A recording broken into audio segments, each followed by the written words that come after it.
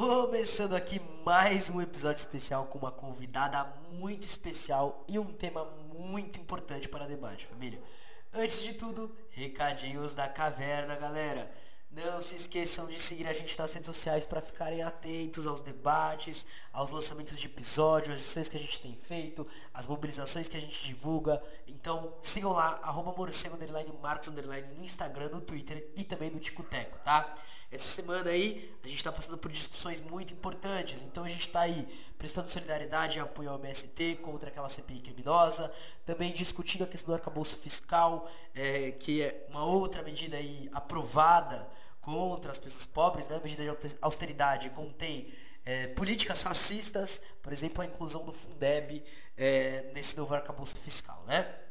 Bom, galera, além disso, se você curte aí o nosso podcast, é importante que você apoie. Então a gente tem aí nosso apoio coletivo, apoia.se barra caverna morcego o nosso Pix, podcastmorcego.gmail.com, que a partir de um real você pode fortalecer em qualquer uma dessas plataformas e ajudar a caverna. Lembrando que a gente está em campanha agora para conseguir um material novo para a produção melhorar, né? Pra gente avançar aí rumo aos três anos de caverna do morcego. Além disso, é importante que vocês sigam a gente nas redes sociais, ah, nas redes sociais, não, perdão, nos sites de live, tá? A gente tá ao vivo na Twitch e no YouTube pelo menos duas vezes por semana. Uma vez assistindo One Piece e outra vez tendo alguma leitura e discussão. Esse episódio provavelmente vai ser lançado após a segunda live de Pedagogia do Oprimido, que é o livro que a gente está começando. Então não deixa de acompanhar a gente aí nesses sites e ficar atento aos debates que a gente está fazendo, que tem muita coisa boa rolando em live, tá? Lembrando que é uma leitura e discussão e a outra é assistindo e discutindo ali, trocando uma ideia sobre anime. Muito bom, tá? Bom demais. Lembrando também que temos desconto de 20% em qualquer produto da autonomia literária. Hashtag morcego da autonomia. Então não deixe também de ir lá no site fazer suas compras. Qualquer produto com 20% de desconto tá bom? Mas agora o palco é da nossa convidada, bora dar um salve pra ela e até mais.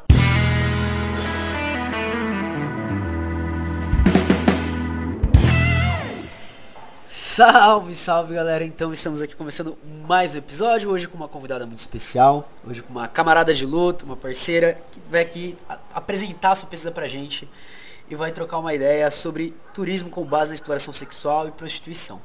Bom, camarada, antes de tudo, ia pedir para você se apresentar pra galera, falar quem você é, de onde você vem, até onde pode falar, né? É lógico. E aí a gente vai entrando no assunto aos poucos. O palco é seu, camarada. E aí, galera? Bom dia, boa tarde, boa noite. É, eu sou a Blasfêmia, eu sou daqui de Diadema, do Grande ABC. Faço Ciências Sociais da Unifesp. Essa pesquisa foi desenvolvida, na real, na minha outra graduação, quando eu fiz turismo. E eu fiz também com uma amiga minha, inclusive quero dar um salve para ela, Natália, que ela fez essa, essa pesquisa comigo. E é isso, eu sou mãe. Então, salve aí para todas as acadêmicas pretas e mães. E é isso. Perfeito, camarada. Então, é, como eu falei, né, a gente não tem um roteiro, aqui na caverna para seguir, é para você apresentar essa pesquisa. Mas então já queria dar um pontapé inicial por uma coisa que você falou um pouco antes da gente começar a gravação, né? Que é, não é uma versão do turismo, por isso que tem esse nome extenso e tal, que eu nem sei como vou encaixar no título, a gente vai dar um jeito. E aí eu queria saber então, o que, que já diferencia, como que você pensou nesse tema, algumas coisas assim que me deixaram já meio aguçados aqui, tipo, porra, interessante, temos coisas interessantes aqui para falar. Então, velho, é, a ideia foi quando tava naquele auge do feminismo, sabe? Lá em 2016, 2015. E eu tinha acabado de parir a Luna. A Luna tava com um, dois anos, sei lá. E tava uma treta gigantesca entre o feminismo radical, o feminismo liberal, sobre a prostituição, se ela era ou não era uma coisa empoderadora, ou se era uma coisa, um estupro pago, entendeu? E aí eu resolvi ir atrás de pesquisar, né? E aí, como encaixar isso ao turismo? Eu percebi que ninguém pesquisava sobre o turismo né, sexual, entre aspas, dentro, dentro da, minha, da minha bolha. Então, eu fui atrás. O turismo sexual, ele não é uma vertente, porque ninguém paga para para fazer. Tipo, não é igual ao turismo de idoso, não é igual ao turismo LGBTQIA+, não é igual ao turismo cultural, não. Tipo, não é uma coisa que é legal, não é uma coisa que é legalizada.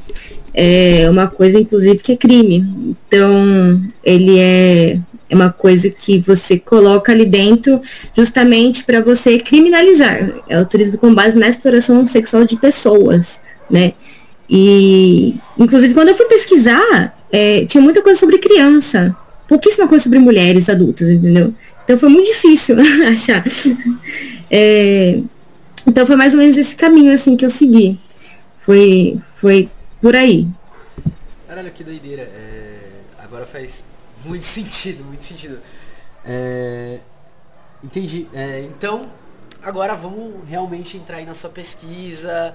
É, não sei se você prefere uma coisa mais formal, né? Porque quando você faz, você faz hipótese e tal, não sei o que. Eu não gosto tanto dessa, desse jeito tanto assim da academia. Mas aí, por onde você quer começar pra gente falar sobre a sua pesquisa? Então, velho, eu vou. Eu tava pensando em fazer um resumo, basicamente, porque a gente fez uma, um compilado de. É um compilado teórico mesmo, para a gente entender basicamente como que nasceu a prostituição né? Porque a prostituição ela, ela nasce junto com a propriedade privada, basicamente, entendeu? Então, o que acontece? É, a gente tentou entender as questões de gênero, patriarcado, da violência, tudo junto ali dentro e a pesquisa ela abrange todas as áreas das ciências sociais basicamente, tipo antropologia, sociologia e ciência política. É basicamente isso. E aí a gente no fim e a gente, no fim, percebeu que, na real, a gente buscando uma resposta, percebeu que o Estado ele faz um eterno enxuga-gelo, porque ao mesmo tempo que ele dá a mão assim para tentar resolver o problema, ele né, não faz nada, basicamente, com essas mulheres, sabe? Não dá uma assistência, é, deixam elas. Não, não há uma, uma regulamentação da prostituição, por exemplo.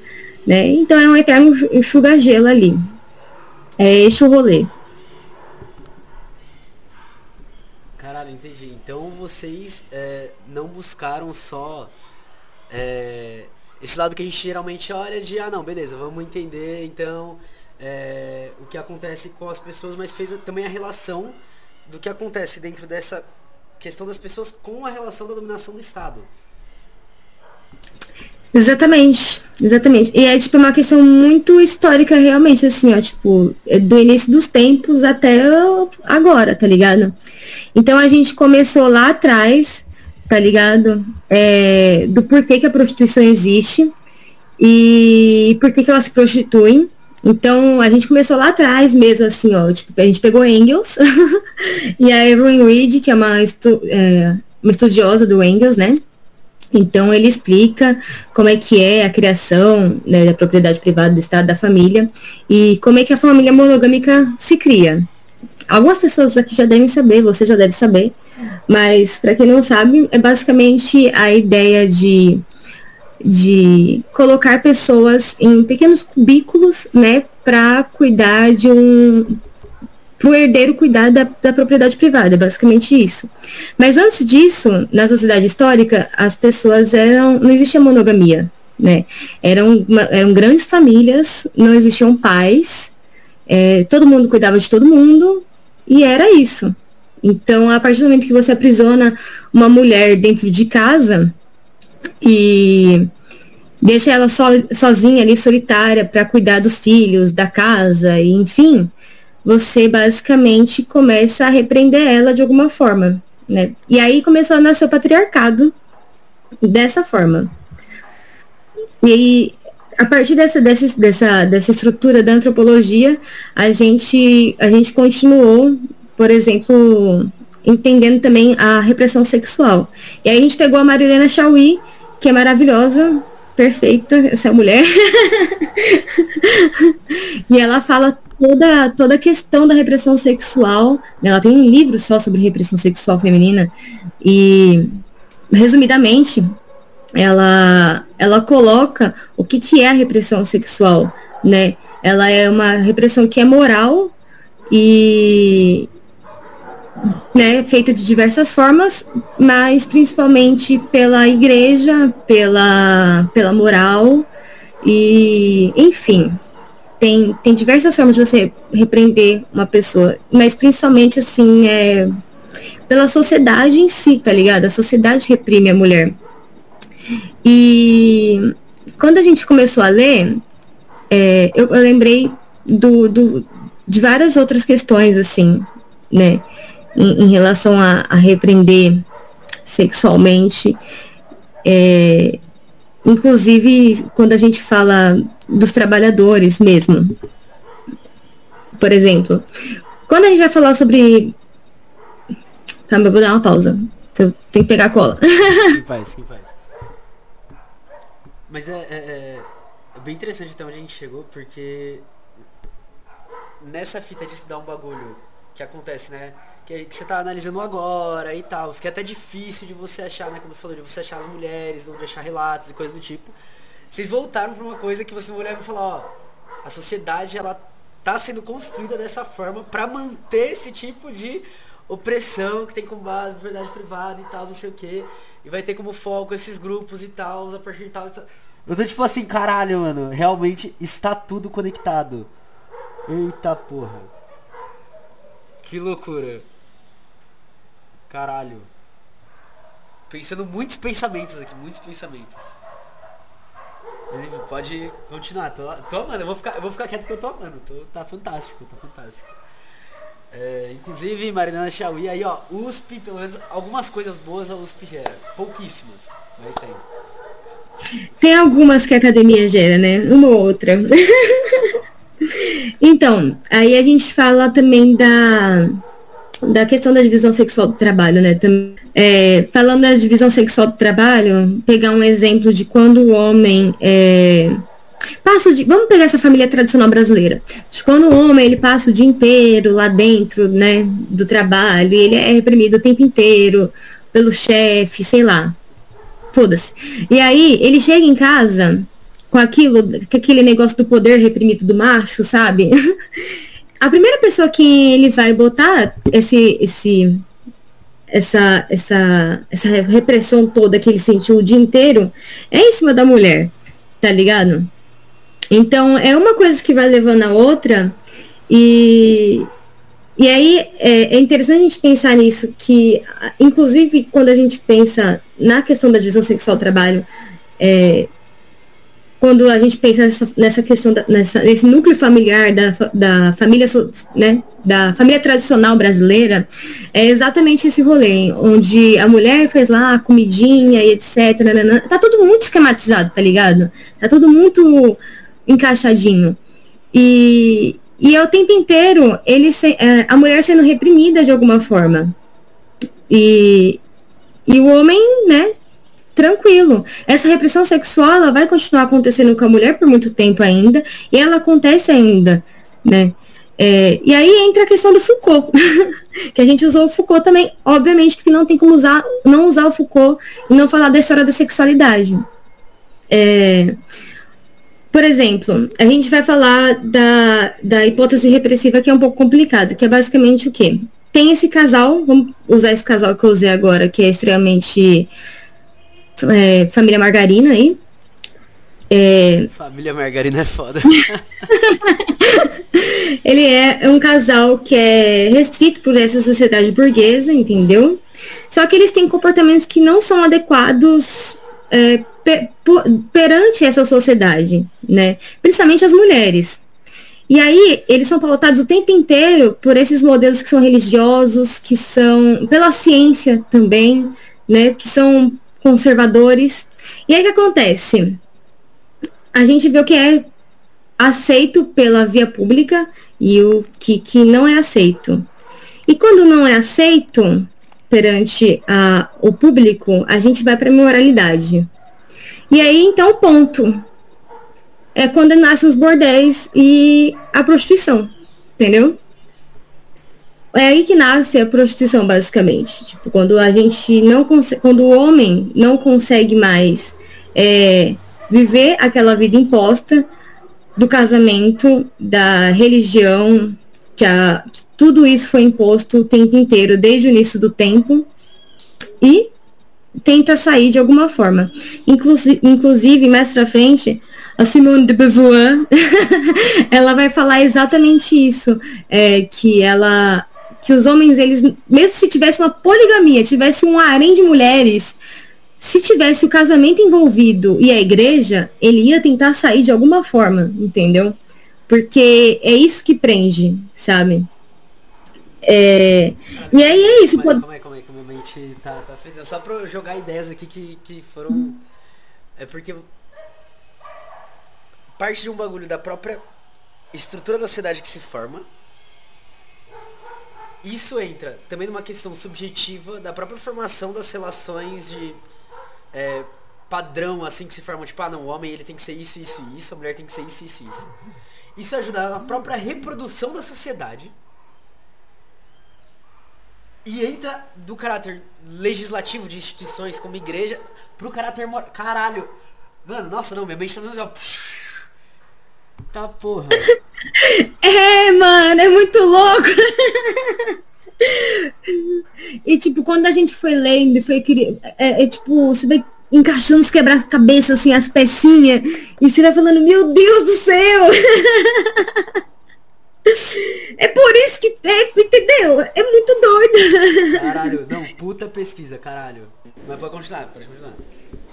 Então, o poder e a sexualidade, eles estão intrinsecamente ligados, tá ligado? Então é isso. É, o capitalismo, ele tem o cuscuz na mão e o, a manteiga. É isso. Se você tem dinheiro e tem o sexo, você tá pagando ali a pessoa. E aí o que acontece? A, a mulher, ela vira objeto, né? Ela vira objeto e capitaliza ali a, a, a imoralidade. É isso. Então, Homens que querem fugir do casamento ruim ou meninos que querem se iniciar na vida sexual, eles correm para esses lugares, enquanto a sexualidade feminina é o tempo inteiro repreendida. E isso acontece até hoje. Né? E aí a gente começa a entrar para um, outro caminho, e a gente vai entrar agora mesmo na questão da prostituição. É, o Foucault, também no livro, acho que no segundo livro, ele tenta entender os motivos para a prostituição. Por que, que as pessoas entram na prostituição, principalmente as mulheres? E aí ele chega à conclusão que realmente tem a ver com os motivos financeiros. Né? Ele fala isso e, e depois eu fui pesquisar e pode ser verdade. E aí eu vou entrar com um dado aqui, que é da FUMEC, que é a Fundação Municipal para a Educação Comunitária, em que 70% das mulheres que se prostituem, elas não têm uma profissionalização ou empregos regulamentados. Então pode ser real, né? quando você pensa em prostituição, muitas dessas mulheres elas não têm outra saída, né? Tipo, não tem um, uma formação, uma profissão. E eu lembro que quando eu fui eu fui em, dois eu pesquisei em dois lugares assim, ó, na prática, realmente, em que eu vi a prostituição rolando. O primeiro foi no Casarão em São Paulo, que é ali na Augusta. E ali é um outro rolê, é, onde tinham mulheres que estavam, muitas eram formadas já, tipo, tinha veterinária, tinha farmacêutica, blá, blá, e a maioria era branca. E, tipo, cada uma ali fazia numa noite pelo menos uns dois mil reais, tá ligado? E olhando ali em volta, naquele meio de mina branca, só vi uma negra e ninguém chegava na mina negra, sabe?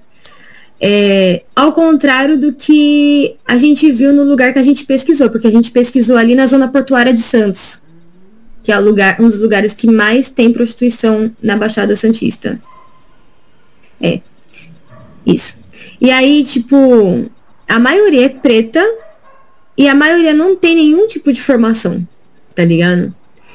E é o que ocorre na maioria do Brasil. Na maioria do Brasil não é, é formada, não é a maioria branca, e não tá ali dentro de uma casa, né? Sendo paga, paga por dois mil reais a noite. Tá ligado? Não é a realidade da maioria das pessoas que se prostituem. Não é. E aí.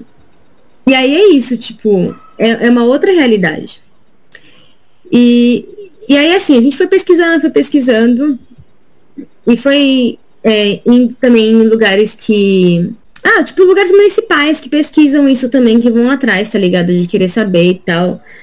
E aí, tipo, ele. Esses lugares de assistência que. Isso, tipo isso. E aí eles, eles deram várias informações pra gente também sobre isso, sabe? É... Mas assim, a gente pesquisou tudo na Baixada Santista, sabe? O, o rolê no casarão foi mais curiosidade mesmo. E, enfim, a questão aqui na Augusta, vamos ver. É, já que é tão famosa assim pela prostituição, eu queria ver, entendeu? E aí, mas foi, esse, foi essa a conclusão que eu cheguei, tá ligado? De que a maioria realmente que se prostitui, mano, não tem condição de de se sustentar realmente e ver na prostituição uma saída rápida de conseguir é, dinheiro, velho. Tá ligado? E é isso.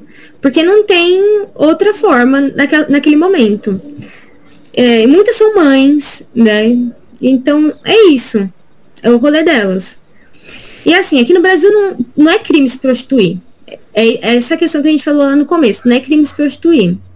O que é crime é a terceirização desse serviço. Que é quando alguém vai pagar você e pegar você e vai pegar seu dinheiro.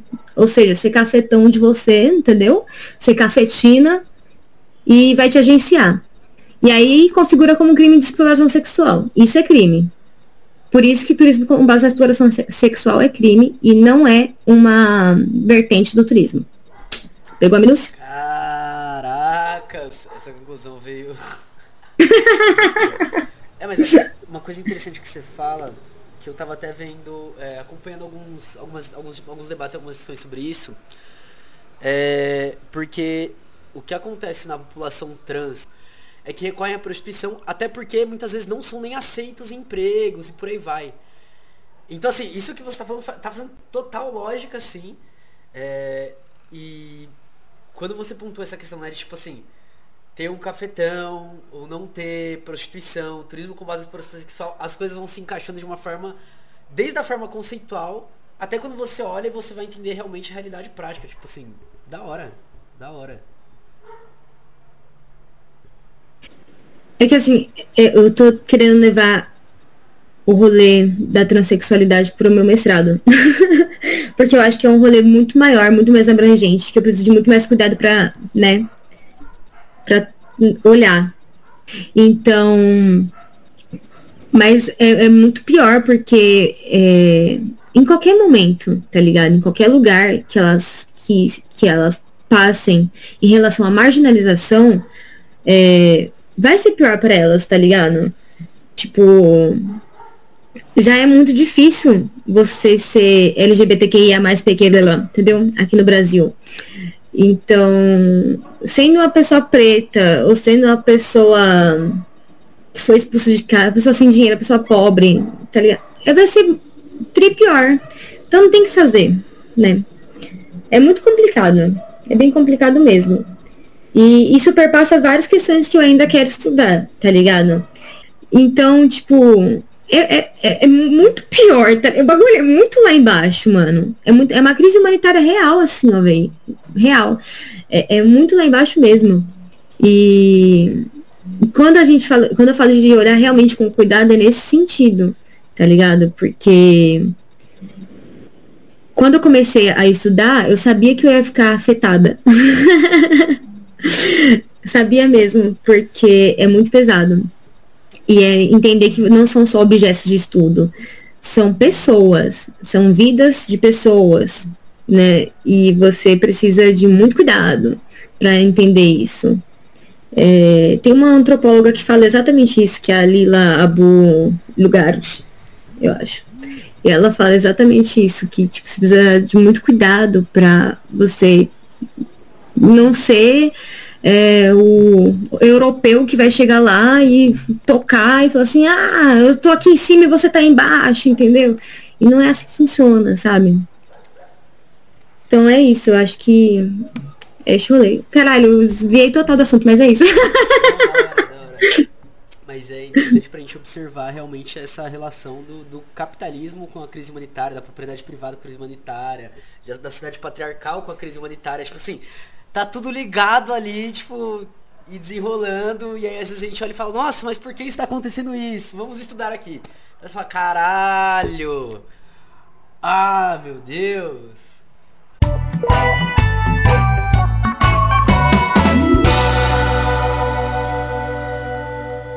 Então, é, tem algumas coisas ainda. Tipo, eu tenho que. Para finalizar o rolê aqui, eu tenho que mostrar como é que o Brasil lidou com todo o rolê da prostituição, né? E do turismo sexual. Porque falar de prostituição é este rolê, né? Que a gente entendeu que é, a gente foi. As mulheres são marginalizadas o tempo inteiro, né? E, e que está completamente ligado ao capitalismo o tempo inteiro. E aqui no Brasil é um, um, um, negócio muito específico porque tem a questão da raça que é muito forte, né? E tem esse recorde de raça. Então eu fui diver, atrás de diversas, oh, diversas fontes, né? Porque eu, como a mina preta, eu fui atrás disso. Só que é muito difícil de achar. É, eu comecei tentando achar lá atrás e eu achei, tipo, a representação da Rita Baiana, tá ligado? Que é aquela mina sensual etc. E aí também aquele corno lá do Pero Vai de Caminha também descreveu a gente como as índias de, de pele. Como é que é? Ai, mano, o modo como ele escreve a gente é bizarro. Mas sempre sai uns negócios. Agora. E eu não sei se eu fico feliz ou triste, eu acho que eu fico mais feliz assim, tipo. Sempre sai uns negócios como mulata, moreninha, sabe? E aí vai piorando, assim, é, tipo, você abrir o X-Video, vai estar tá lá, Brazilian Women, negras, mulatas, etc. Vai ter uns negócios assim, é tipo muito maluco. E essa ideia como sexo fácil é embutido na gente, sabe? E, e em contrapartidas, a gente serve apenas pro sexo mesmo, entendeu? Porque pro casamento, é, a galera não tá afim de assumir a gente. Isso são dados mesmo, tipo, em, 2000, em 2010 saiu uma pesquisa que as, as mulheres negras são as que menos casam, sabe? E, e é isso, entendeu? E a gente continua aqui.